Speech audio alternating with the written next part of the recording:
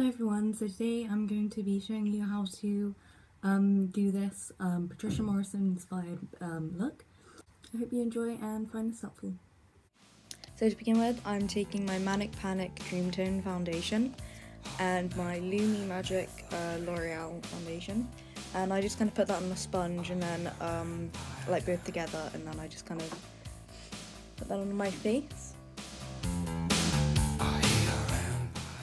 And I'm taking my Lily Lolo uh, Mineral Foundation um, in Porcelain, uh, which I believe is the lightest one they have. I could be wrong.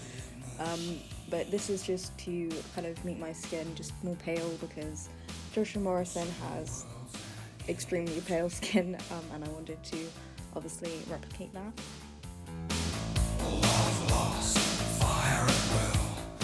So I'm not an expert at contouring, um, but I just took a, contouring palette and also um, some kind of blush from um, my Estee Lauder kit. And I just put the contouring stuff down first and then I put the blush on top just so I had that kind of um, it's a kind of like brownish kind of red that she has usually on her cheeks. I just kind of wanted to make that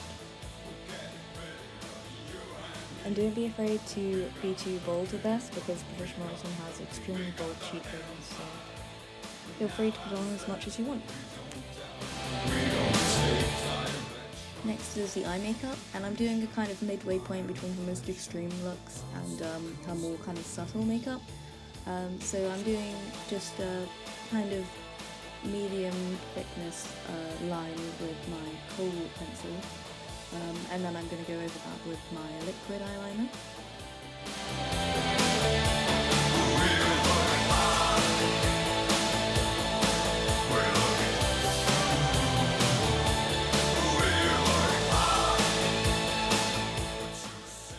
Next I'm taking my kohl pencil again, I'm just going to line my um, under eye. Um, and it's not too heavy, just enough so that you kind of have the outline of your eye. Next I'm taking this kind of earthy reddish brown colour from a palette that I've had quite a long time. Um, and I'm just kind of putting that all over my eyelids.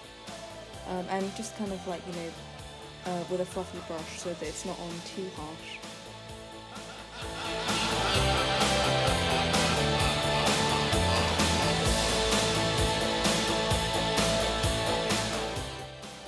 Okay, and then next I'm just putting on some mascara.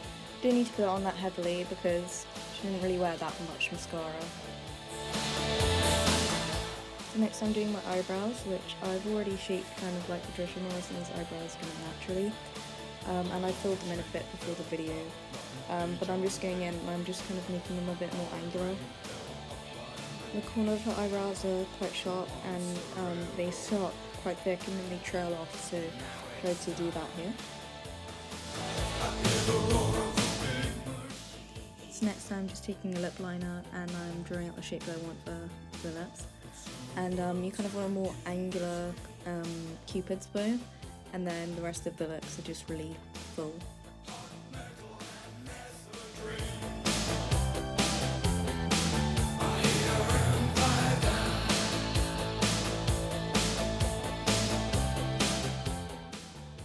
Next I'm taking this kind of halfway point between like dark red and bright red and I'm just that And that's more or less it for the makeup and um, I'm attempting to kind of recreate her hair. Since I've had a haircut I don't quite have the length anymore for her hair and um, my fringe is definitely not her kind of style. So yeah, I hope you enjoyed the video and found it useful. And I'll see you next time. Bye!